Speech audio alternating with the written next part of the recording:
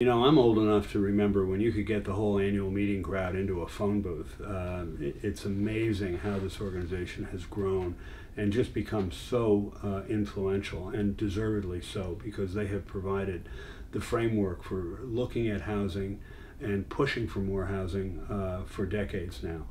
Uh, you know, at the Boston Foundation, we have a wall that lists um, the many organizations the Boston Foundation helped uh, get started. And we're very proud uh, that uh, the Boston Foundation helped get CHAPA started with a $35,000 grant back in 1967.